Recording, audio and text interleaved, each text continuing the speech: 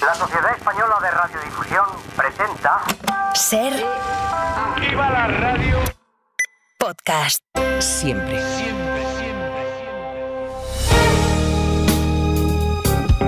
Si amanece, nos vamos con Roberto Sánchez.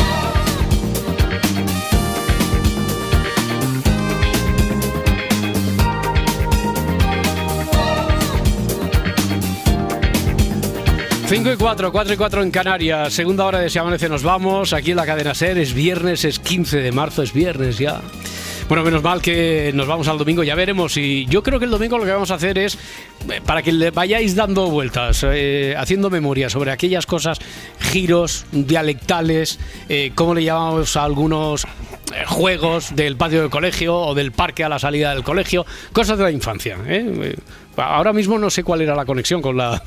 ¿Por qué salió esto ayer o así? Pero, No sé. pero vamos a hacerlo. No, o sea, Pero, pero, pero mola. pero vamos a hacerlo. Con preguntas y respuestas, pero de, de este tipo. Yo tengo una. ¿Ya es- tienes una? Sí. A- Ya estamos, a ver. ya estamos. Ya, perdón, es que me ha llamado mucho la atención antes cuando decías lo de hacer campana, no sé qué, en Galicia o en Lugo por Sí, lo menos, ver, no ver, lo sé. ¿Qué, qué se dice? Eh, cuando no ibas a clase se decía que estabas latando. Latando. Ah, mira, Del mira. verbo latar. Sí, sí, sí, ¿Vale? sí. Es que alguien lo estaba contando por aquí. ¿Vosotros qué tenéis? El Laura Martínez, ¿qué tal? Yo Buenos días. piraba ¿Cómo? Piraba. Pirabas, pues sí. Piraba. bueno, es muy Sí, gráfico. estás un poco pirada. No, da lugar a confusión, desde luego. Y, y vosotros, bueno, o de las campanas, pellas o lo que sea, o cualquier otro, un juego, por ejemplo, el churro mediamanga mangotero, que Hombre. recuerdo que, que salió también aquí algún Sí, día. adivina lo que tengo en el puchero. Sí. Hay otro más, el balón prisionero. Balón bueno, esto, esto prisionero. lo había que hacer el domingo, ¿no? Me callo ya. Bueno, no, no, no, Ah, pero vale, así vale. vamos, así El vamos. balón prisionero el- descubrí que es el brilé, Mm. para mí el brilé de toda la vida. Ah. Balón Eso prisionero. me suena a punto, a algún tipo de manualidad. El algo. Que no, que no, es el juego este en el que te, no Sí. te pueden dar con el balón. Ya, sí, ya, sí, balón, balón prisionero, prisionero, pero sí. yo- como balón Brilé. prisionero, pero brilé no lo había oído yo, Brilé. yo Balón, nunca. balón prisionero hecho, es, ma- cu- es a matar o no? Porque nosotros directamente jugábamos Yo a también matar. era a matar. Bueno, matar? claro, pero eso puede decir matando sin matar. Claro, que después es como cuando jugabas a las canicas decían, no valen No, cuántos no, chinos. no, directamente el juego Ah, se ya, llamaba ya, ya, matar. ya, claro. claro. Nosotros Oye, a mí, a mí brilé me suena a postre, ¿eh? Ah, que sí, Bri- un brilé de Un vainilla, brilé, un un brilé de vainilla, oh, con fundido de chocolate también puede estar bien. En la provincia de Pontevedra dice Jorge a través de YouTube que hacer pella se dice copar. Copar, clase, sí. Aunque la que más le gusta a él es esta variante de Lugo, que es la- Hombre. latar. Latar, Latar, latar. latar, latar. Eh, Luis Mi Pérez, Rubí, Barcelona, ¿qué tal? Buen día, buenos días. Buenos días, gente. ¿Tú recuerdas algún giro, algún girito así? Vamos, yo que sé, pues jugar al bote-bote y sobre todo llenar la botella de agua y jugar a la mosca. Que acababas, vamos. A Era la mosca. hacer la vaca. Mosca, a mosca molaba. Mosca, esos de Rubí. eh, ¿Habéis oído No, no, mosca? no, ¿De ¿no qué habéis visto cuando un jugador de fútbol es su cumpleaños y pasa por en Sí. medio de un túnel Sí, y, sí, y le dan eso. collejas? Pues Ah, por ahí es- va la cosa. Y eso es un juego. Eso es un juego que se hacía ahí de curtía. Eso es un juego. Bueno, No, lo no lo hacíamos hagáis en- en casa, no lo vale, hagáis en vale. No, todo no, todo no, esto, todo esto no. el domingo, que ya es lunes, vale. porque hoy decíamos que es viernes. Bueno, menos mal que llegamos al, al lunes Sí. así, ya limpios de polvo y paja, algo que aprendimos de dónde venía ayer con, con Luismi, por cierto, porque no tendremos historia de detectives. Se ha averiguado ya eh, la de los amantes y, claro, al saberse que era incendio Torre Windsor, ahora lo que arde son las redes, Sí. me dice Sí. Laura Martínez, porque todo, todo el mundo se ha puesto de acuerdo para pedir esto.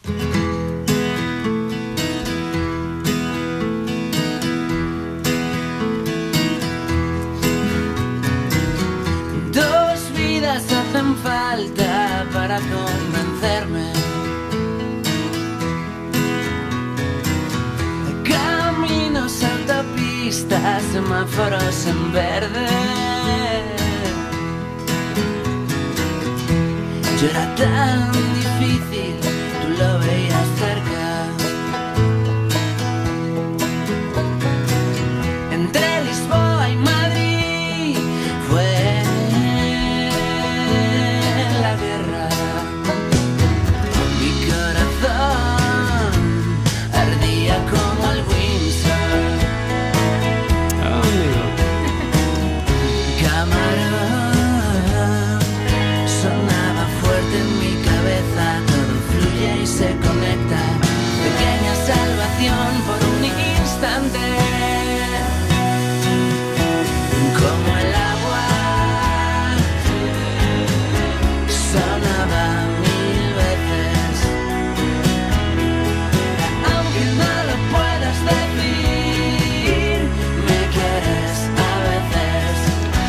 decía, eh, a raíz de los de los títulos de las series que intentamos colarle a Laura Martínez para que algún, algún día veréis algún título en las redes. Hoy Miquel Lejarza nos habla de Tarzán y su puñal.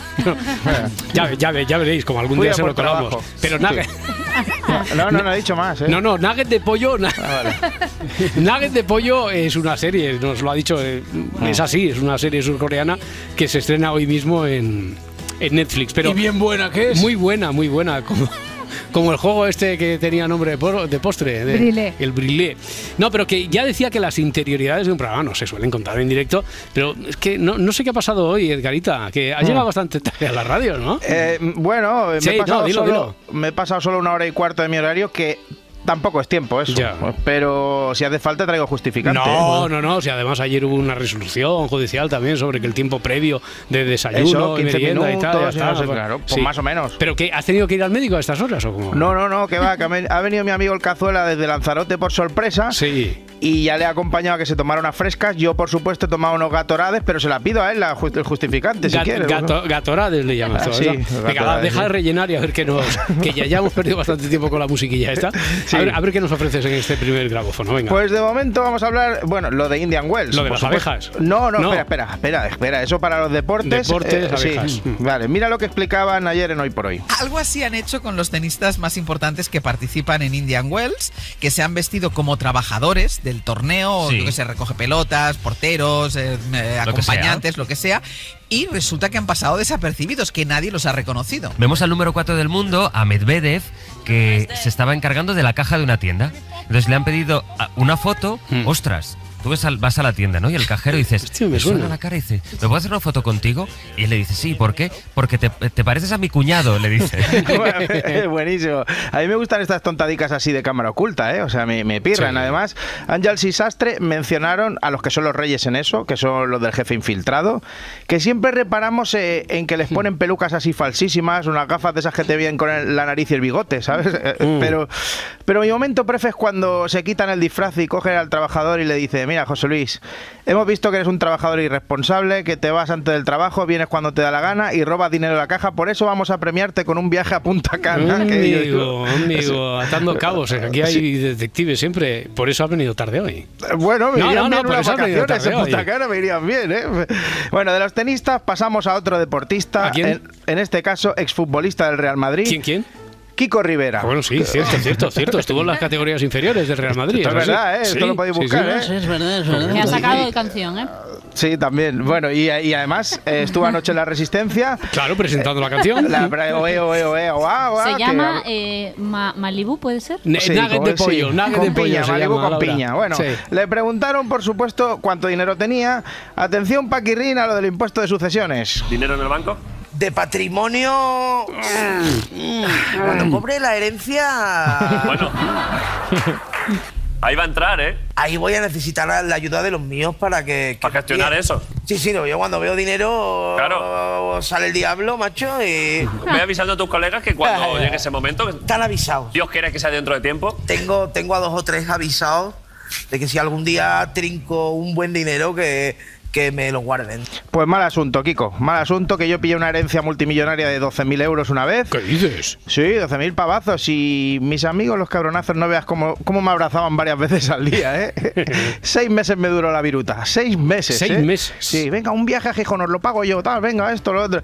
Otra cosa que hacía yo con mis amigos era ver las pelis, las madrugadas del viernes al sábado. Sí, las, Plus. las- las culturales. Las Normalmente culturales. era- eran a la, a la 1 y 51, ¿vale? Y Kiko también lo hacía. Y luego me pilló también viendo una porno, tío. En el salón, no nos pusimos ni en el cuarto porque el Canal Plus en el cuarto mi madre me lo tenía quitado. ¿Acordáis de aquella llave que se veía todo en rayas, tal? Sí, sí. De ahí mi enganche cuando fui mayor de tantas rayas. Claro, venga, vamos. venga. Y Pero era muy niño, ¿no? Cuando las películas del Plus con rayas. Ki- Sí. Kiko, pero si era niño, niño. Si era cuando lo sacaba la madre en los conciertos. Más o menos. A- Aquí el hermano Paquirrín ha ido a calzón quitado. Sí. Mira que no lo admiraba porque no tiene mi talento musical. Pero el cabrón es gracioso y eso siempre me camela. Bueno, eh, fue tu cuñado un tiempo, ¿eh? No lo es olvidemos. verdad, no me acordaba. Pero estoy con Kiko a muerte porque pasó por el trago que pasamos muchos niños cuando estábamos jalándole el cuello al pato y aparecía nuestra madre. dos de la mañana y entró, entró mi madre, tenía el mando aquí, por si acaso entrara alguien, cambiar directamente el este. Y entró mi madre, cogí el mando, se cayó la pila del mando. Al final acabé poniendo la pila, cambié el mando y os acordáis de los anuncios estos de los cinturones que te dan electrodos y, y te ponían abdominales. Salió el anuncio. Claro, salió el anuncio y digo, y yo digo, mira mamá, eso me lo quiero comprar yo. Eso es, eh. es que menudo momento, ¿eh? Lo fácil que era cambiar de canal normalmente, así por la tarde, y lo difícil que era cuando aparecía tu madre de madrugada, que subías el volumen sin querer, Sí. muy loco todo, y además, y qué bien manejaban eso las madres, cómo cuidaban ese momento que te pillaban, que a mí la Dolo me dijo, una vez, deja ya de secarte los mocos de los calcetines. Pero bueno, Ya. y de, de un Ah. cantante pasamos a otro. Bueno, De un eh, cantante. sí, de can- cantante, saca canciones, Kiko Rivera, ¿no? Pues, Sí, pues ya sí, sí, vale, vale. El que sí que canta es Bisbal. Hombre, ese sí, claro, eso no se duda. sí. Nos ponemos en pie ante Vale. él. Eh, grande, grande, grande. Estamos esperando ya que nos envíe un saludo. Así que, Bisbal, Pero- si nos escuchas. Pero hemos hecho algo por el saludo. ¿no? eh, yo se lo he pedido a los, de, a los compañeros de Cadena Dial, pero Bueno. no sé si me hacen caso. o- Pues mira, vale, vale, pues no te Eh, caso, ¿no? Es que, es que el comodín de Tony Aguilar es, es facilito. Ya, no, entonces- no, hay que ir por una vía. Pero mira, ahora están eh, los premios Dial en Tenerife, pues ahí igual Claro. Candela Y- o Milena, alguien, Claro, alguien que esté cerca de por favor, allí, claro, por, favor. Por cierto, ayer eh, los compis le preguntaron qué sintió cuando escuchó una canción suya por la radio. ¿Recuerdas la primera vez que sonó una canción tuya en la radio? Sí, claro. Claro que lo recuerdo. Eso fue en el 2002. Yo estaba eh, recién salido de, de la academia y me impresionó mucho porque para mí eh, el medio de comunicación que siempre más he admirado ha sido la radio. No. ¿Por qué? Porque para mí era una herramienta de trabajo que tenía para poder aprenderme todas mis canciones y así presentarlas a la Orquesta Expresiones. Vosotros sabéis que yo trabajaba en la orquesta y que mi trabajo era escuchar las canciones que se reflejaban en la radio. Que se reflejaban en la Es radio. increíble, ¿eh? O- o- es, que, es que lo recuerdo y se me ponen los pelos como escarpia. Claro. Ya sabes que yo trabajé en la, en la orquesta Sensaciones. Expresiones, Expresiones, expresiones, Eso, expresiones. eso, es es que, que a veces me lío. Lo importante es que mi trabajo era escuchar las canciones que se reflejaban en la radio. Sí, se reflejaban como si fuera un espejo. ¿eh? Eh, No, esa, esa no me la sabía, es del último de la fila, pe- pero, pero las de Nino Bravo las bordaba. El, ¡Ole! El- tarabajo, me encanta el El tarabajo. El tarabajo, Oye, pero sí que es cierto que se reflejaban como si fuera un espejo, podría ser nombre de canción y de álbum, y de álbum Sí, del último de que la se fila. ¿eh? reflejaban en un espejo y que, se, que en el espejo se reflejaban, entonces ya sería de Fito, cuando le da la vuelta a la eso. Ay, ay, madre, Ay, qué, bo- madre. qué bonito lo esto que dijo después. Cuando escuchas tus propias canciones, es que Propia. no te lo puedo escribir, pero eh, lloré mucho, recuerdo, y fue una sensación extraordinaria. Después cuando escuché a otros músicos cantar en otras orquestas, que es de donde yo venía, eso también fue muy- un impacto grandísimo. Grandísimo. Claro. Todo, todo lo hace como muy grande. ¿eh? Lo, lo vive mucho y además se le nota que lo vive de verdad. Roberto, esto es un no parar de estrellas. sí, ¿qué hoy pasa? traigo tiramisú del bueno. Joder, estamos esto bien de es- postres hoy.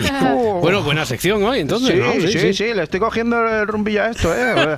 Pero bien, además, ¿eh? Sí. ¿Por qué? ¿Por qué? ¿Por qué? María Pombo, eh, creo, o Marta Pombo, Bueno, o Susana Pombo, una- una, de las una tres. Pombo, una Pombo, una Pombo. pf, No sé, que resulta que se ha ido de viaje a Nueva York con su marido y le ha pasado pues, lo que nos sucede a todos. María Pombo y Pablo Castellano pasean su amor por las calles de la ciudad que nunca duerme y comen, comen y vuelven a comer. Justo ayer por la mañana decía, joder, qué rabia, porque cuando viajamos juntos nunca tenemos fotos de los dos.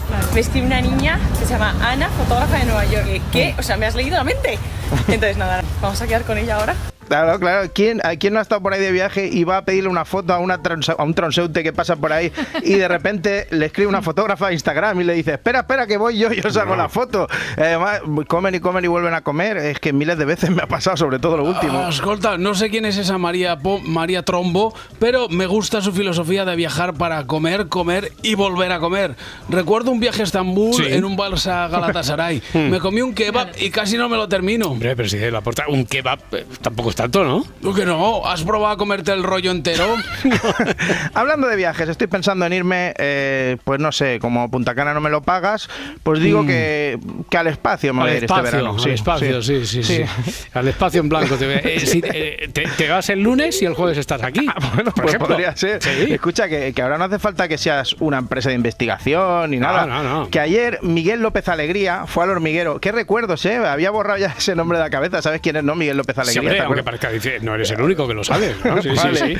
Bueno, por si hay alguien que no, Miguel López Alegría fue el primer español que subió a un cohetillo que, que algunos decían que era yankee, que era americano, pero Miguel no. López, alegría. Era español. Claro. No era Michael López Alegría, no, no, era Miguel López Alegría. Era, bueno, cuando hacen cosas buenas a alguien, son de los nuestros. Sí. Es como cuando Johan Müller ganó la medalla de esquí, para nosotros era el más español, Pero- luego se la quitaron porque iba hasta las entrañas de Tasio y ya era el alemán ese. El puto alemán ese. El puto Bueno, oye, ¿y lo de Miguel. López Alegría? Entonces, sí, ¿qué pues decir? así, sí, que, que ayer explicaba que, que se puede ir en nave troncha y por un módico precio. Vosotros en, en- en vuestra empresa no, eh, lo que lleváis son científicos, pero que alguna vez ha ido un millonario y he leído en la documentación que le costó 55 millones de dólares. Subir al espacio cuesta mucho, cuesta mucho para los gobiernos tanto como un individuo. Entonces, lo- la, cos- la cosa que cuesta más es la subida y la bajada. Eso es, eso es, la subida y la bajada. 55 millones, pero si eso no es dinero. Mira, quería darle una sorpresa a mi chiquillo y dudaba entre comprarle Portaventura o llevarlo al espacio. Pero por ese precio no me lo pienso dos veces. No, claro, si es un chollo, señor Millonetti. ¿Y no se lleva a su mujer también? ¿no? Ex, Ex, mujer. a la ex mujer no. Pero, pero no te digo yo que no me lleve a su amiga Marisa, que lleva tiempo poniéndome ojitos. Ay, si me viera el Fari, qué orgulloso estaría de mí. Oye, por pasta el que, el que podría ir también es el chatarrero, ¿eh? Mm, Chatarrero, eh, no querrás decir el turronero, ¿no? No, no, no, no. Chatarrero. Este- Ah, este yo es es que me lío, yo me lío. Vale, es vale. que vale. este es el otro, que ya sabes que antes los millonarios se llaman Borja Luis de los Montes Equinos y Sendero Luminoso y ahora ya no, ahora ya no se llevan tantos apellidos, ahora es el turronero y el chatarrero. Claro, son más, más- son más de andar por casa. Aquí, Claro. yo- Un, un- un tapicero, ¿eh? Está tardando en salir. También, yo si tuviera mucho dinero sería el tornero, porque ya sabes que Sí, yo... sí, que- sí, Ficosa Internacional, que sí, que sí. Bueno, pues el chatarrero, que parece que es la nueva ilusión de Tita Cervera, según dicen, y que encima le va a comprar los coches. Patrimonio sí, pero Che, liquidez che. no. Tita necesita dinero y la Sí. forma más rápida que ha encontrado para recuperarlo es esta. La viuda del varón estaría interesada en vender dos de sus coches Estaría. más fabulosos. A ver. El primero es un Rolls Royce modelo Pantone en color gris, uno de los coches más lujosos del mundo. Y el segundo que ha puesto a la venta es su otro Rolls Royce blanco, un vehículo que le ha acompañado en numerosos actos. Estad muy atentos porque os quedaréis con la boca abierta al descubrir el precio de venta que ha puesto la baronesa a estos dos coches de lujo. 500.000 pavazos. Atentos a sus pantallas. ¿La reconocen? ¿Quién es? Se trata de María del Carmen Rosario Soledad Cervera, más conocida como Tita Cervera. Ah. ¿Qué hay detrás de esa venta desesperada de coches de lujo? ¿Acaso pretende montar una franquicia del tipo vendemostucoche.com? Y que te has puesto en contacto con ella para ver si colaboraba, ¿no? Sí, y me ha vendido un Alfa Romeo de 2009 con muy pocos kilómetros que siempre ha dormido en garaje. Ya, una ganga, una ganga. Oye, el anuncio, se ha perdido el anuncio aquel de vendemos tu coche, porque Vendemos salían dos coche, chavales que inspiraban mucha confianza. Venga, venga, bueno, tira, tira. bueno, sí, termino ya con, con otro que también puede comprar los coches de Tita y subirse al pepino de López Alegría. ¿Quién? Leo Messi, 22 millones de euros por un vídeo para promocionar Arabia Saudí. Pero es un vídeo por inteligencia artificial, es decir, que no tuvo que ir ni siquiera a grabarlo. Ah. Por él le pagaron 22 millones y medio de euros por este vídeo y por otras acciones, porque es un contrato que tiene con turismo de Arabia Saudí. Escúchame, yo no entiendo de esto, pero yo hubiera pedido más dinero por ponerme el pañuelo. Porque Sí. te estás significando mucho Vamos, más. Y sobre todo que ese pañuelo tiene una pinta además como de mantel de sociedad gastronómica. Sí, pero no. Ya, ya, ya. Bueno, Leo, Leo Messi, 22 millones y medio de euros por un vídeo que no tuviste ni que grabar, ni que, Sí, ni que ir a... sí, lo sé, es poca plata, pero lo hice por una buena causa. Apoyar el turismo de un país moderno que respeta los derechos humanos. Sí, claro, igual que nuestro Rafa Nadal, por ejemplo, ¿no? No, no, por supuesto. Arabia es un gran país. Rafa, eh, en 25 palabras, como le dijo, eh, ¿qué sabes de Arabia? De Arabia, pues nada, eh, eh, que es un país donde vive gente maravillosa, que en el tema de política ha habido algunos cambios. No y- tantos. Y, y no sé mucho más. Ay, Luis Mi Pérez, Luis Mi Pérez. Les habla el hombre del tiempo con nuevas informaciones. Tendremos chubasco y viento ver, mirada al fin de semana. Arranca el viernes 15 de marzo, fin de semana por delante de muchísima bonanza. Veo por aquí otra vez demasiada, demasiada quizá para ser todavía invierno, porque los únicos chubascos se darán hoy y, y van a ser, yo no sé cómo calificar esto, Luis, de andar por casa, ¿no? pero así de claro, no van a ser importantes. Algunos esta mañana en Girona, también más o menos pegados al río Duero, en Castilla y León. Esos chaparroncillos, más bien, que a lo largo de la tarde también se van a repetir en el Pirineo, en el norte de Cataluña, en toda la Ibérica, sobre todo en la provincia de Teruel y la de Soria, así como por ejemplo en el norte de la Comunidad de Madrid o en el norte de Extremadura. Muy poca lluvia, la verdad, en el resto del país. Empieza a subir la temperatura, más lo va a hacer mañana, más lo va a hacer el domingo. Y decir más y más significa que en Murcia vamos a rozar los 30 grados el fin de semana, pero es que en gran parte del país rozaremos los 25. Y lluvias el fin de semana, alguna mañana en la costa de Galicia, allí con algo más de viento. Y las noches que tampoco van a ser frías, por tanto, se acaba, van quemándose los últimos cartuchos de, de- de invierno con tintes del todo primaverales. Ahora, por ejemplo, en Ávila hay 7 grados, 14 tenemos en Bilbao o 15 en Ceuta. Nada de frío para ser un 15 de, de marzo. No, desde luego, ya que estamos hablando del protagonismo de las temperaturas, especialmente porque son atípicas para, para este tiempo. Sí, otra a ver, vez, sí, sí. eh, ¿A qué temperatura estamos más a gusto? ¿A qué temperatura estamos eh, mejor? Eh, Ya sé que es Eso muy es difícil una- generalizar. Es pero- una pregunta muy complicada básicamente porque no hay nada más subjetivo que la temperatura. Mm, Cuando nosotros muchas veces hablamos de va a bajar la temperatura, va a subir, el ambiente será agradable, la sensación de frío será evidente y cosas de ese estilo, Mm. mucha gente pues no se acaba de poner de acuerdo, básicamente porque cada uno y cada una tiene su termostato, su termostato. Pero ¿qué es lo que mm, podemos decir a nivel objetivo? A, nivel- a nivel objetivo, básicamente de- la temperatura depende también de si está haciendo viento o no y de la humedad que tenga ese aire. Por ejemplo, una temperatura estándar para la mayoría de la población, que sea muy agradable y que sea de confort, es una temperatura sin viento que esté alrededor de los 25 grados. Cuando esa temperatura ya pasa de los 30, ya es una sensación de más calor. Y cuando está bajando de los 5, Mm. la sensación es de, de frío para la mayoría de la población que conste. Ya, Ya os digo que cada uno No, no, es muy puede difícil, aguantar. muy difícil generalizar, si no nos ponemos Claro. de acuerdo con el aire acondicionado en el estudio. No, ahí está, por reacción. ejemplo. Imposible. Sí, sí, en- la temperatura se pone muy de manifiesto eso de que no llueve Mm. nunca a gusto de todos. Pero, por ejemplo, una curiosidad es que tengan que ver con esa temperatura y con esa humedad que os decía. Cuando hay poca humedad, se está produciendo mucha evaporación. Y la evaporación produce un enfriamiento. Mm. ¿Eso en qué se traduce? Por ejemplo, un día de verano, que eso pasa mucho. En verano hace mucho calor, lógicamente, te metes en la playa o te metes en la piscina, sobre todo en las piscinas, y la temperatura ambiental es de 38 o 40 grados, por tanto hace mucho calor. Pero cuando sales de la piscina, notas un frío de la leche. Sí. Básicamente mm, te estás metiendo a un ambiente que está a más de 40 grados y resulta que tu cuerpo nota mucho frío. Eso es porque la humedad es muy baja Mm. y porque el, el agua que, es- que- que se desprende de tu piel cuando sales de la playa o de la piscina directamente se evapora, se evapora muy deprisa. Y Ya. eso crea un enfriamiento muy rápido en tu El piel. contraste, ¿no? Y hace Ahí que muy sea rápido. curioso sí ese contraste. Claro, sí, sí. claro. Eh, Hablando de contrastes, oye, eh, a veces hemos observado como gente de, de sitios muy fríos, gélidos incluso, en realidad Sí. no es que aguanten mucho el frío fuera de casa. Eh, eso a lo mejor también se debe en Burgos, por ejemplo. Como las Sí. calefacciones están habitualmente tan altas, después Mm. fuera de casa, pero a la vez sí que es cierto que eh, en invierno, en temperaturas gélidas, no te voy a decir de 15 grados bajo cero, pero sí que de 0 grados, si no hace viento, pues hay gente que es capaz de estar tomándose algo en una terraza, ¿no? Mira, de hecho, si tú haces una. Si, das un vistazo o si haces una estadística de temperaturas y sensaciones, cuando estamos alrededor de los 0 a 5 grados bajo cero. Sí. O sea, ya estamos bajo cero. Pero hace mucho sol. Estás en un sitio en el que haya ese. Vamos, en, en el que esté luciendo muy fuerte ese sol. Y en el que no esté haciendo viento, la sensación será de mucho más confort por la mayoría de la población que si el día está nublado, que si tenemos Hmm. niebla y la temperatura es altamente positiva. Si hay 8 o 10 grados positivos, se nota mucho más frío. Eso es básicamente por las sensaciones que, que nota nuestra epidermis, nuestra- nuestras capas de la piel en este caso, la más externa, y luego también de eso que os decía de si hace viento o no. A nivel, llámale general, por debajo de 10 grados bajo cero, sobre todo 15 bajo cero, Hmm. es cuando ya haga sol o no, notas mucho frío. Y cuando por encima de 35, 35 grados con mucho calor, por tanto, la sensación de mm, desagradable también es evidente y la sensación sobre todo de ahogo. Por encima de 40 grados, la mayoría de la población no le gusta que haya esa temperatura. Las temperaturas, ese misterio, espacio hoy patrocinado por Einstein, todo es relativo. Eh, Sí. Luis Mi Pérez, un abrazo muy fuerte. Hasta mañana, hasta el lunes ya será. ¿De Sí, acuerdo? buen fin de semana. Descansa, hasta luego, porque es viernes, viernes de estrenos.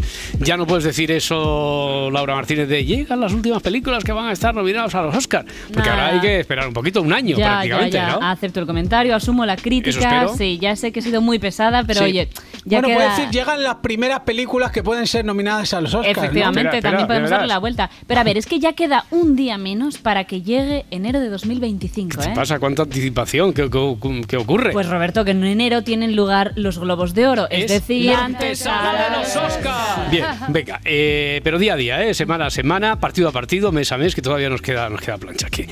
¿Vamos con lo de hoy? Sí, venga, con dos iconos adolescentes. Bueno, uno fue icono adolescente en su día y otro le flipa tanto a las adolescentes actuales como a las mujeres de cualquier edad, ¿eh, Adriana Morelos? Como las eh. viejas, ¿o qué? Como- como- Pero no, ha quedado no. durísimo. No he, ¿eh? dicho mujeres maduras, he dicho mujeres de cualquier edad. Bien, Ya. pues estamos hablando por un lado de Zac Efron y por otro lado de Jeremy Allen White, que protagonizan los dos el Clan de Hierro. Desde niño, la gente ha dicho que mi familia está maldita. Mamá intentó protegernos con Dios. Papá intentó protegernos con la lucha libre. Decía que si éramos los más duros y los más fuertes, nada podría con nosotros. Yo le creí. Todos le creímos. Bueno, pues la sinopsis os la podría contar yo, pero ah, no. pero no vas a contar tú no, la sinopsis de no. esta película protagonizada por el tipo que gusta a, A las las interesantes mujeres. cuarentonas que has Sí. dicho. Eh, Parece por que no sé que le ven porque parece un tucán. A, con los la- ojos. a la- a las señoras que el cuarto árbitro ya la saca a los tres minutos. Es que vamos.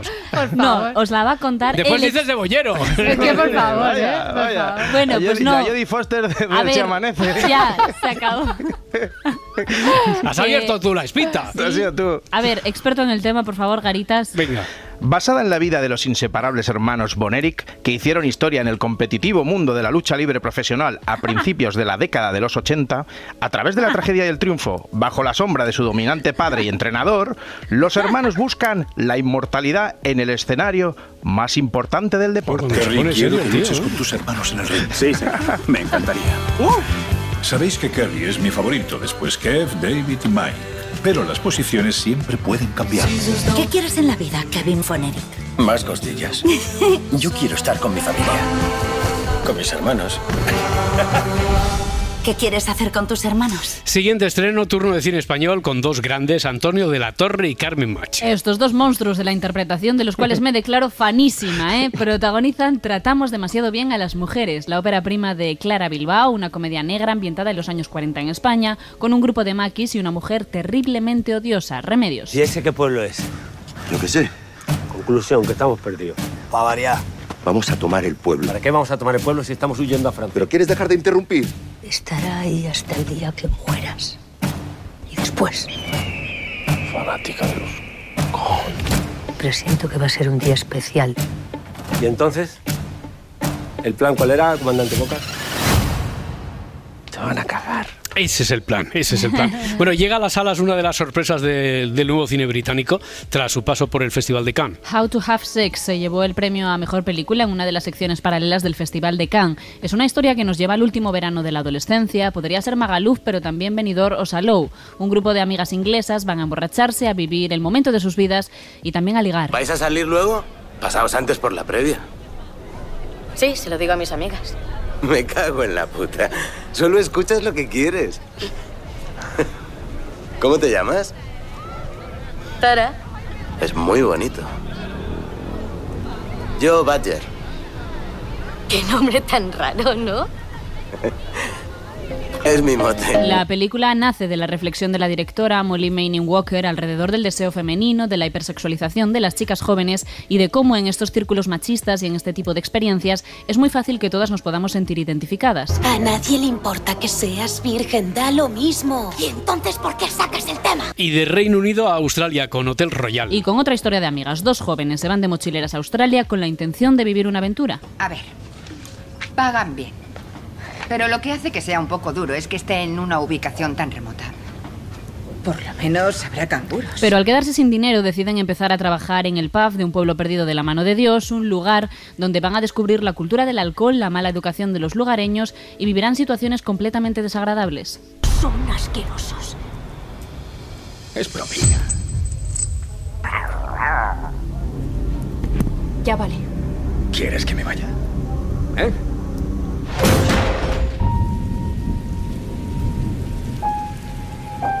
Vale, nos vamos. ¿Y a dónde vais ahí? ¿Eh? No hay autobús hasta dentro de dos días. Me dan miedo todos y todo en este sitio. Ganad lo que podáis, coged el autobús y ve. Y desde México llega a las salas la ganadora de la Biznaga de Oro en Málaga a Mejor Película Iberoamericana. Una historia de corrupción y de violencia, pero también de educación. El protagonista es un maestro en una ciudad fronteriza mexicana que quiere implantar un nuevo método docente con su alumnado. Yo no voy a decidir lo que van a aprender. Eso lo van a decidir ustedes. Puede ser lo que sea, ¿eh? Lo- Lo que sea. Pero ¿cómo vamos a sacar buenas calificaciones? ¿Qué importan las calificaciones? ¿Habían tenido una clase así antes? Nunca había tenido un maestro así. Señor Juárez, a nadie le importa un carajo lo que pasa aquí. Estoy tratando de entender qué es lo que intenta hacer aquí. Nada ha cambiado en la educación en los últimos 100 años. Y terminamos el repaso, como diría esa madurita interesante que es Adriana Morelos, moviendo el esqueleto. Claro, porque la noche es joven. Ahí está, bailando, vamos a terminar. Terminamos bailando. interesante, ¿eh? Bailando. Cuidado. Sí, sí, sí. No lo he dicho yo. Con una película danesa, divertida, tierna y entrañable. Se llama Nuestro último baile, que además cuenta con la presencia de la bailarina, coreógrafa y artista española La Ribot. ¿Te ha tomado la tensión? Mi tensión está bien si nadie la perturba. Voy a empezar por el principio. Soy el protagonista eh, en un espectáculo de danza contemporánea. De acuerdo. ¿Y habrá ensayos todos los días? Todos los días, de 11 a 6 de la tarde y fines de semana. El protagonista es un hombre jubilado que acaba de perder a su mujer y aunque toda su familia está pendiente y encima de él para asegurarse de que este está bien, él se esmera en cumplir una promesa que hizo con su pareja, introducirse en la danza contemporánea. Tu presencia, Alice, Muy la siento cuando bailo. Me falta tu sonrisa. Siempre te amaré. Si amanece, nos vamos. Con Roberto Sánchez. Abrimos el repaso con Adriana Morelos, con este titular del país. La amnistía da el pistoletazo de salida a la precampaña catalana. La ley de amnistía salió ayer adelante con 178 votos a favor, 172 en contra, pero el horizonte del mandato no queda despejado en espera de las elecciones catalanas del 12 de mayo, cuenta este periódico. La vanguardia titula que esta ley se demorará ahora dos meses en el Senado. En ABC, Sánchez y Esquerra Republicana se unen para frenar a un Puigdemont crecido tras imponer su amnistía. Y destaca este diario que Partido Popular y Vox califican la ley de acto de corrupción. Escuchamos a Carles Puigdemont. Espero que... Y espero que se entienda de que a partir de que la amnistía entre en vigor podremos hacer política como mínimo en términos de cierta igualdad, en que una de las partes no tendrá la amenaza permanente de la detención y la represión. Y leemos en el mundo que el presidente aragonés pidió a Yolanda Díaz que mediara con los comunes, pero ella lo rechazó. Aragonés la llamó para tratar de que ablandase la posición de los comunes, que al día siguiente tumbarían las cuentas. La vicepresidenta se ha desmarcado de la decisión de Sánchez de renunciar a los presupuestos del Estado de 2024. Respetamos la posición del presidente del Gobierno, no la compartimos, sobre todo porque hay que seguir gobernando. Y los trabajadores y las trabajadoras de nuestro país, la ciudadanía que está viviendo una crisis de inflación sin precedentes, necesita seguir ganando derechos. Y más titulares, más cosas que vamos conociendo en torno al asunto que envuelve al novio de la presidenta de la Comunidad de Madrid. La pareja de Ayuso creó una sociedad en Florida de actividad desconocida en plena investigación fiscal. Lo leemos en el diario.es. Esta sociedad la constituye en octubre de 2022, tras adquirir uno de los dos pisos de lujo en los que reside junto a la presidenta madrileña y cuando la agencia tributaria ya la investigaba por defraudar esos más de 350.000 euros con facturas falsas. La pareja de Ayuso admitió dos delitos ante la fiscalía. Cuenta el país que el abogado de Alberto González Amador admitió en un correo electrónico enviado a la Fiscalía la comisión de dos delitos fiscales. En la propuesta aceptaba pagar y también una sanción penal. Ayuso dijo que la investigación no tenía fundamento. Sanidad propone preservativos gratis para jóvenes de entre 14 y 22 años. Lo leemos en ABC. El Ministerio en principio solo lo planteaba para rentas bajas, pero opta ahora por eliminar esa condición y que se puedan recoger en las farmacias. Mónica García es ministra de Sanidad. Tenemos el compromiso de mejorar la accesibilidad al preservativo. No tiene sentido que se cubra una vacuna para evitar una infección, pero no un método de barrera como es el preservativo. Por ello, Hoy quiero anunciarles que desde el Ministerio de Sanidad estamos estudiando la posibilidad de que el preservativo esté cubierto por parte del sistema público. En el país, la Unión Europea urge a que Israel permita la ayuda a Gaza por tierra para evitar la hambruna. Bruselas insistió en abrir corredores terrestres tras admitir que los envíos por aire y por mar no bastan. El comisario europeo de gestión de crisis dijo que la Unión Europea ha recurrido a barcos como el de Open Arms, consciente de que estos no pueden sustituir el acceso terrestre que bloquea el gobierno israelí. Y para la contraportada, es que hacía días que no destacábamos, hacía días que no íbamos a nuestro, a nuestro referente de cabecera, Sí. eh, un artículo de Icon. Así que, venga, vamos a elegir hoy este de la política al Tinder. ¿Por qué tantos hombres siguen mintiendo sobre su estatura? Y tenemos paradoja. La aplicación de citas Bumble asegura que la altura ya no es un asunto importante para más del 30% de los hombres solteros que emplean la aplicación, pero ¿Mm? el filtro de la estatura es uno de los más empleados y muchos hombres añaden algunos centímetros a su altura y constatan, dice Icon literalmente, aquella vieja frase de que el tamaño importa. Ya, eh, no hablo de ese otro tamaño al que importa, al que se refiere la frase, pero eh, no es patrimonio exclusivo del hombre lo de engañar, mentir en la altura. No. Eh, vamos con los datos. La media altura de los hombres españoles es de 174 centímetros. Sí, esto según un estudio de la Organización para la Cooperación y el Desarrollo Económico, pero basta con echar un rápido vistazo a las aplicaciones de citas para descubrir que sus miembros no forman parte de los estudios, porque una gran Ah. mayoría sobrepasa, al menos según dicen, esa estatura. Sus- los miembros de las aplicaciones. Se- bueno, Sí, eh, ¿por, por qué mienten los hombres sobre... Sí, ¿verdad? ¿Por, por qué mienten los hombres sobre su estatura? bueno, a ver, este artículo cita a Loan Brisdane, es autora del... Hombre, a ver, empezar por ahí. si, si viene avalado por Brisbane. O sea, ya. Hombre. Bueno, ella es la autora del cerebro masculino Claro, Y, claro. da, y da esta respuesta, ¿vale? Los hombres mienten sobre su altura en las redes sociales y en las aplicaciones de citas para aumentar su atractivo hacia las mujeres, porque creen que las mujeres prefieren a hombres más altos y más fuertes. Se considera que los hombres más fuertes pueden proteger más a las mujeres, darles un mejor nivel de vida, ya que tienen Eso es más machista, poder, ¿no? sí, Sí, un poco. sí, sí. Y el estatus se suele asociar a los hombres más altos. Eh, Es machista, Parda, lo que pasa que es una idea que tienen los hombres, sobre todo. Exacto, Quiero decir, que, que- que- que tienen, que, que presumen los hombres y Sí. eh, van a las, a las citas estas, o al menos a esas aplicaciones, Pues al menos con ese siempre que le prejuicio. preguntan a una chica que cómo te gusta el alto. Ya. Ah, y Es ha, dicho que es la autora del cerebro masculino. Pues el mío, el mío lo hizo fatal. ¿eh? El mío no, no le salió bien, el mío. Está bien eso. 20 y las 6, 5 en Canarias. Y en deportes, ay, ay, ay. ay, ay. Ay, el ay. Villarreal que estuvo a esto. Estuvo, estuvo ahí a Ay. punto, a punto de conseguir la gesta.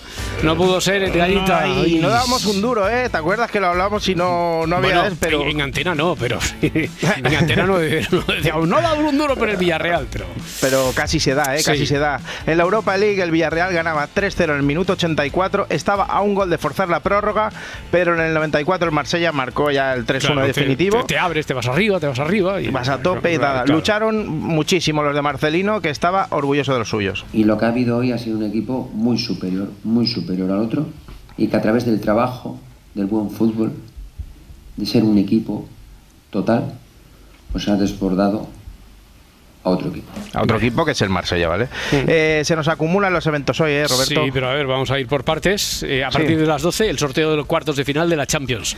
Sí, me encanta este día porque las portadas de los diarios, principalmente Diario As, dice, este bombo es la bomba. ¿vale?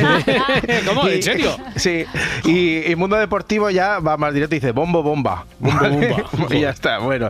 Pues nada, y luego a los que le tocan los difíciles, pues estarán diciendo que hay bolas calientes para su rival y, y a los que le toca uno fácil, pues achantamos el mirlo un poco y ya está, y ya esto. Y luego estarán, como siempre, los que dicen, ¿y al español quién la ha tocado? Ah. Hacen la broma, que no pasa nada, ya lo llevamos bien. Y luego los más difíciles para los equipos españoles, pues pueden ser, pues yo creo que el Manchester City y el PSG. Oye, a ver porque cómo va.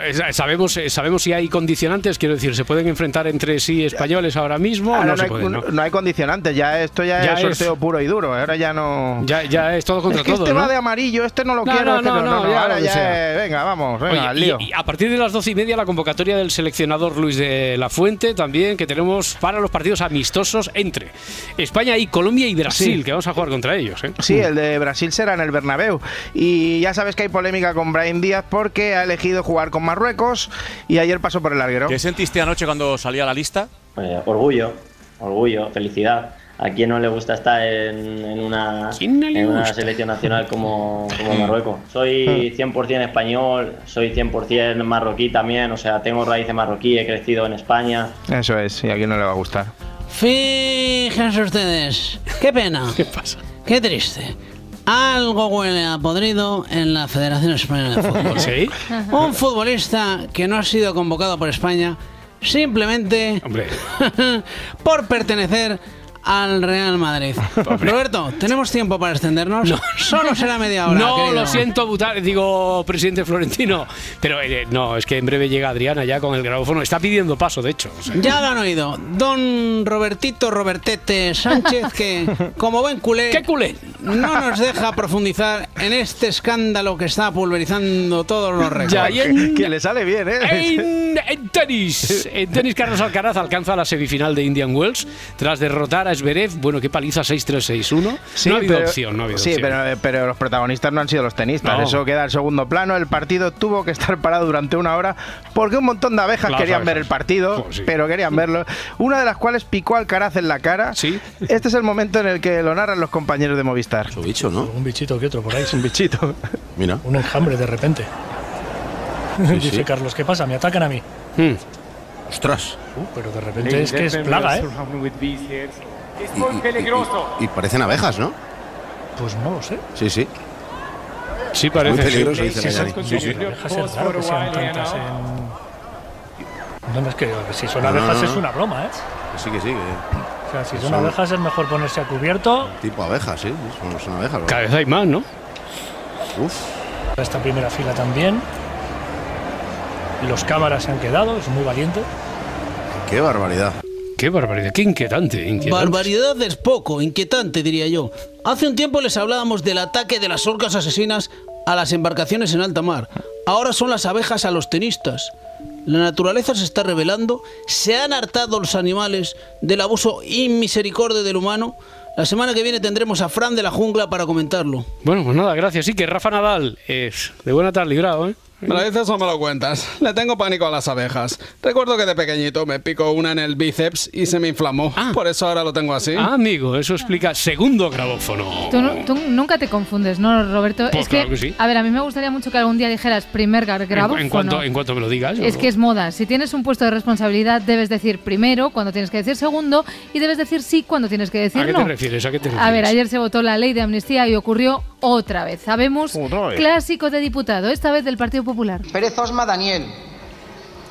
Sí. ¿Cómo? No, no, no. Pérez Osma Daniel.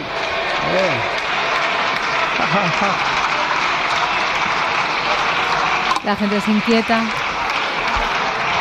Pérez Osma Daniel, no. No, venga. no. Y luego está Feijó, que le ha pasado lo que a todos cuando nos preguntaban, profe, en clase y estábamos hablando con nuestro compañero de pupitre. Alberto y Cuca, ¿podéis prestar atención, por favor? Núñez Feijó Alberto. A ver. No, no. Joder, parece mentira que no me conozcáis. Que soy muy de la broma. Lo hice para darle un poco de suspense, eh, que si no la votación iba a estar muy... ¿Muy, muy qué? Aburridilla. ¿Lo ves? Lo volví a hacer. Ansias, que eres una ansias. Pero todo esto ocurrido en el Congreso no tiene ninguna relevancia al lado de la noticia de alcance que conocimos ayer. Alessandro Lecchio duerme en camisón. Lo de los pijamas, yo soy muy antiguo, lo reconozco, y duermo con un camisón hasta los tobillos. Eh, Y no los hacen llevas a nada medida. Pues esto fue, ve- no, yo siempre co- algodón o seda. ¿Algodón o seda? No sé por qué os lleváis las manos a la cabeza. Alessandro viene de familia noble y los nobles dormimos en camisón y con gorro de borla, como Don Quijote en los dibujos animados. Es una maravilla, muy cómodo. Os invito a que lo probéis. Los reales atributos están muy aireados. A su bola, nunca mejor dicho. Ahora tengo que vivir con la imagen mental de Lecchio en camisón. Bueno, quita, borra, borra, Eh, borra. Pues que eso no se me va a pasar así como así. Me Ya. tendré que tomar una copa para superarlo. Pero menos mal que tenemos un nuevo bar en la capital del reino. El mundo de la gastronomía madrileña está de sorpresa. ¡Boom! Llega Pablo Iglesias Boom, y dice que el día 19 de marzo abre una taberna en Lavapiés. Vale. Uy, uy, uy, uy, mal asunto, zona tensionada, ¿eh? No podrá abrir más allá de las 22.30. Las tabernas son el último bastión de la libertad del proletariado, dijo Pablo Iglesias, y le puso de nombre al bar Garibaldi. Menos mal que esto es el grabófono y que tenemos las primeras palabras de Pablo Iglesias sobre su nuevo garito de moda. Nuestro manifiesto es inquebrantable. Aquí reivindicamos el canallismo, la sobremesa que se alarga, reivindicamos que se te vaya un miércoles de las manos, ¿no? Y sobre todo reivindicamos la penúltima. La gracieta no se queda en el nombre de Garibaldi, es que también hay juegos de palabras con la carta. Por lo que ha trascendido, los nombres de la carta tampoco van a dejar indiferentes a nadie, ya que encontramos, por ejemplo, el salmorejo partisano, las Sí. enchiladas Viva Zapata o la ensalada Garibaldi. A la carta hemos querido romper. Aquí hemos tirado por el rollo este fusión, street food. En Taberna Garibaldi también podremos encontrar una oferta para veganos bajo el apartado No me llame ternera, mismo nombre con el que el periodista Jordi Évole tituló su documental al exdirigente de ETA, Josu Ternera. Qué graciosillo el marqués de Galapagar, Mucho, mucho. con esos juegos de palabras. Seguro que también tiene un panaché de verduras con el nombre Panaché Guevara o algún platillo venezolano como el plátano maduro frito. Y me juego lo que sea, que será carísimo. Te van a dejar temblando el monedero. ¿Lo pilláis? Monedero. Sí, sí, lo hemos pillado, lo hemos pillado. Vamos con un poquito más de Ayuso. Se han descubierto cosillas de su novio y tal, pero nadie, nadie ha descubierto algo que a mí me parece muchísimo más relevante. ¿Qué es? Tiene una amiga, Ah. se llama Tamara, piensan igual, de hecho prácticamente dicen lo mismo. Y la explicación es que todos los poderes del Estado, todo el poder de una administración y de un gobierno contra un particular son hoy noticia para tapar que hoy se va a votar en el Congreso de los Diputados la ley más corrupta de la historia de la democracia. Es que estoy diciendo, no se han aprobado las cuentas. Mm, las Vuelve cuentas. Puigdemont. Eh, eh, vamos, Eh. o sea, todo un desastre Todo, y todo. lo- y le estamos dando tiempo al novio de Le Ayuso. agradezco mucho a Pedro Sánchez su intención de destruirme lo personal para tapar la corrupción de su gobierno y de esta ley de amnistía y creo que es el verdadero protagonista del día. Gracias. Gracias. Bueno, el martes abrirá la taberna Garibaldi. Uf, no, seguro, veo, no veo el día, no veo el Se- día. no es veo que seguro que la cierran más de un día juntas estas dos, ¿eh? Tamara y Isabel. Seguro. Ayer Ayuso estaba, de hecho, parrapera. Porque no me extraña que de esta manera le quieran cambiar. Y tampoco sé si usted tuvo la oportunidad de visitar los pisos de Coldo en Benidorm, será de los pocos, su amigo. Pero los compró con dinero con- sucio, en rulos. Y yo creo que los ha puesto al servicio de todo el Partido Socialista. Por lo tanto, ya nos informará si este verano se pasa por alguno. Tampoco sé si han tenido la oportunidad, si usted tenía la oportunidad de viajar a la República Dominicana en el Falcón del Presidente, a la que tanto va con el Falcón. Y si no lo ha hecho, yo le recomiendo que se lo pida. Es un país muy bonito y además últimamente tiene una flor favorita, la begonia. La begonia. Pues, ahí, ahí, ahí, ahí ha estado Ay, bien. ay. ¿eh? ¿Qué? No la trago, pero entre humoristas debemos reconocernos la gracia, ¿no? Hombre, es verdad que el juego de palabras con Begoña y Begonia ha probado siempre. Siempre pero aquí, ay, siempre. Isabel, ¿por qué República Dominicana? En un documento al que ha tenido acceso el Huffington Post de 2016, perdón, sí, 2016, consta que Alberto González Amador representó a Quirón Salud ante el Ministerio de la Mujer de República Dominicana como director internacional de prevención Quirón Salud. Bueno, ayer estaban todos muy preocupados por los tiempos. Por un lado, los de la ministra Montero y por otro, si es que el novio de Ayuso no era su novio cuando se le traspapelaron los papeles. Eduardo Inda. Antes de darnos un besito, pásame la declaración Eso de la es. renta para ver si salimos o no salimos. O nos salimos. Pare- parece que lo he dicho en broma, pero no. Y yo hoy, por ejemplo, pediría echar un vistazo al bolso y si me encontrara un carnet del PSOE Sumar, aire, En la, circulando. en la misma línea está Rafael Hernando. Pero cuando cometió los delitos, perdóneme usted, ¿cuándo? ¿Cuándo? Cometió los delitos. Antes de conocerle a la señora eh, Ayuso, ¿no? Hay que, tener, hay que pedir eh, certificados de penales entonces cuando uno sale con una persona o cómo es esto. ¿O cómo es esto? Tamara lo tiene claro. ¿Tamara otra vez? Sí, aunque fuera ya su novio, es que ella no entiende. Es que no lo entiendo, ¿sabes? No, no, porque pero es que no está- realmente, o sea, es Pues que no lo se de, puede pues eh, comparar. entiéndelo, eh, Tamara, puede- o porque sea, no es, no es que estemos comparando, es que son las noticias Entiéndelo, del día claro. y de la semana. Es que, es que realmente me parece muchísimo más grave. Yo sí que creo que al final eh, están, o sea, están consiguiendo que hablemos de este tema cuando realmente solamente concierne al, a- al novio de Ayuso y a Hombre, no, Ayuso. no, no, no, no, no, No, no, no, no, no, dice Cristina. No, dice que no. Tras escuchar a Tamara Juan del Val hizo esta reflexión, pero no iba por ella, ¿eh? De esta manera, est- esto que tú dices de decir, están consiguiendo, este es el problema de meternos permanentemente en un bando. Yo no sé quién está consiguiendo nada. Que esto puede ser una cortina de humo, no, pero a mí, a mí no me sacan facturas falsas. Eso es una cosa, eso es una evidencia. Entonces, lo que, lo que ocurre es que lo que no se puede estar haciendo es permanentemente, como a mí Ayuso me cae mejor que Sánchez, no estoy diciendo que esto lo hagas tú, ¿eh? No, no, no, no, Digo no, que en general es una cosa como a mí Ayuso me cae mejor que Sánchez, todo lo que haga Ayuso mal o alguien relacionado con Ayuso o la respuesta de Ayuso a esa persona es que es por culpa de que se han Se metido han con metido nosotros. con nosotros. Vale, a ver, podéis tertuliear todo lo que queráis, pero eh, a Ayuso le da igual. Si la mayoría de su grupo parlamentario que va dando tantas lecciones no ha trabajado nunca fuera, ¿qué me está Silencio, contando? señorías. ¿Qué me está si contando? tengo un coche del año 2008 de segunda mano, un pequeño golfito que me viene muy bien, A mí que me cuentan, A mí señoría. que me mire. cuenta. Mira, ¿Qué pasa? ah. Que soy la presidenta de Madrid. Exacto. Coño. Pero que una cosa, que tengamos en cuenta que esto que de lo que estamos hablando, lo de Ayuso, su novio, que esto no es ningún caso, ¿eh? lo dice Inda. Nada de decir el caso Ayuso. Pero por tanto, por tanto, por tanto, no hay caso. No hay caso. No hay caso. No hay caso. Insisto, Bueno, Eduardo, habrá insisto, caso no en hay función caso. de una No cosa- hay en caso. función de una cosa- No hay caso. Que No no. cometido ningún delito. Inda, pero es no un trates de no llevar- Que no hay caso. No trates de caso. llevar No, el asunto. no, no, no, y caso, mira, y mira hay que, que a Inda, a Inda le gusta un caso, ¿eh? Es que aquí estamos hablando del caso Coldo, el caso Coldo se pone todo, todo el centro de atención en el caso Coldo, no es que el caso Coldo es el caso Armengol, es el caso Marlasca, es el caso. Torres, es el caso Ábalos, es el caso Sánchez. Ahí Vale, sí vale, que hay vale. casos. Oye, Ahí. más allá de Ayuso, por En favor. los pasillos del Congreso, que es donde pasan las cosas buenas, como en todos los pasillos, pues ocurrió que un periodista le preguntó a Ábalos y él respondió. A ver, esto es el informativo de Televisión Española conectando en directo justo en este instante. Imagen en directo de los pasillos del Congreso, donde estamos viendo... Señor Ábalos, la Guardia Civil investiga sus reuniones con un testaferro de Maduro, según han informado las últimas horas. Que tiene que decir? Investigado además por el FBI, según eh, publicaba Alvise Pérez. ¿Qué le parece? Pues que eres subnormal. Pero, hombre, pero ¿cómo se le ocurre decir eso, señor Ábalos? Así lo va a hacer, amigo. Es un normal, ha dicho, ¿no? A ver, creo que me habéis entendido mal, ¿no? Yo he dicho, pues que eres muy normal, ¿no? ah, vale. Bueno, Ábalos fue ayer mencionado en varias ocasiones por Feijo. Esta es una. Pedro Sánchez depende de lo que diga el señor Puigdemont y depende de lo que haga el señor Ábalos. Qué pena. Nada más. Pues tú verás. Nada más. Oh, cómo declina. ¿eh? Oye, Sí. oye, me ha gustado ahí, ¿eh? Vaya bozarrón. Nada Nada, más. más. Nada más. Igual me apunto a una escuela de doblaje y todo, De- ¿eh? Debería, debería. Otra vez más con Ábalos en la boca. Mire, señoría, ha sido tan bochornoso su discurso que hasta el señor Ábalos ha abandonado el hemiciclo. Salidas tengo y siempre he tenido. Ay, ayer que era día 14 de marzo, Zapatero se hizo una tournée y estuvo, por ejemplo, en hora 25. Dígase un solo país, una sola democracia en el mundo que haya proscrito y que prohíba las amnistías. Dígase. ¿Lo escuchan? Es el silencio. Silencio, porque no la hay. No la hay, vale. Recordó Zapatero con Aymar aquel momento calle Ferraz llena de aquel marzo de hace 20 años y dedicó estas palabras a quienes estaban allí. Todos los sueños y compromisos que en aquel momento expresaban con el grito no nos falles, que los intenté, eh, los intenté, unos saldrían, otros no, pero siempre con decencia y con esa convicción democrática. Eso me parece que les podría decir. Vale. Bueno, yo creo que estuve a la altura, con momentos memorables como aquellos brotes verdes o mi gran frase, no es una crisis, es una desaceleración.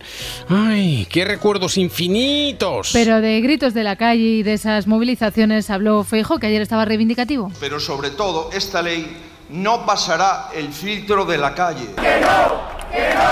Créanme, la calle la tienen perdida. Bueno, vale, vale. Bueno, cuando hay política te olvidas un poquito del resto, ¿eh? También. Nunca de Kate. Catalina, te esperamos. Aunque me da miedo hablar de este tema ya porque es que hubo llamada. Es de asumir que en las últimas horas ha habido una llamada a alta escala, es decir, a los, a los responsables de los medios de comunicación, puesto que el bajón informativo ha sido repentino. Repentino.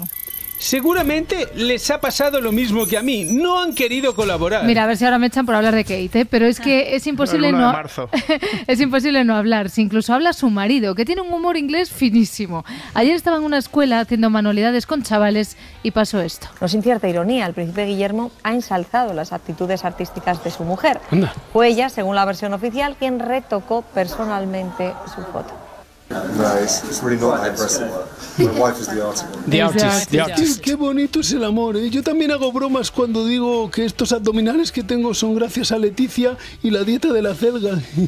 La mujer de Guillermo es la artista, dice el príncipe, aunque para artistas los que han elaborado los precios de las entradas para la Asamblea Fundacional de Sumar. Hmm. Es el próximo 23 de marzo. Espera, espera, ¿precios de las entradas has dicho? Sí. ¿Que hay concierto? No, eso es en el bar de Pablo Iglesias, que algún catautor va a caer. En la Asamblea de Sumar hay muchas opciones que van desde los 58 céntimos hasta los 19 euros. Pero dejadme leeros el desglose de la web, ¿vale? Opción 1, voy con todo más donación, 18,94. Opción 2, voy con comida más recuerdo, 9,28. Uy, esos precios están ajustados ahí hasta el céntimo. ¿Esto será cosa de Yolanda? Atención, señoras y señores. Ha llegado Sumar, la Asamblea Fundacional, hasta la puerta de su casa. Ya están a la venta las diferentes opciones para acudir al evento. Directamente desde Moncloa hasta sus hogares, disfruten del acontecimiento del año desde 58 céntimos solo entrada. Si prefieren algo más completo, decántense por el pack Voy con todo más donación por 94,18. Perdón, 18,94 céntimos. O también pueden elegir la opción Voy más comida más recuerdo que me la quitan de las manos, está saliendo muy buena por 9,28 céntimos. Ah, y me dejaba la opción Voy más comida por 6,38 céntimos, que se puede combinar con... ¿con ¿Qué se puede combinar? Sí, que se puede con... Bueno, con otra cosa. Les voy a dar un dato, lo voy mirando y ya les digo.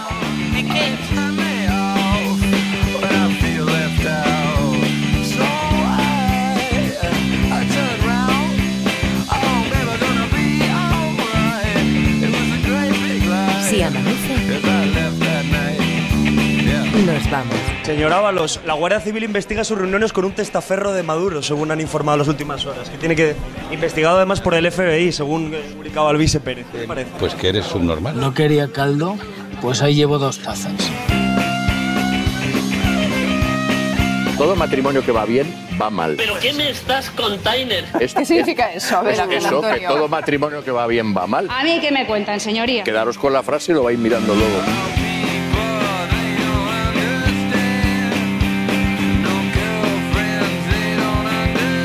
Tampoco sé si usted tuvo la oportunidad de visitar los pisos de Coldo en Benidorm, será de los pocos, su amigo. Siempre a, a Mojaca. Muy bonito. Pues tú verás. Mojaca. Qué pena. No, no, no, mentirón.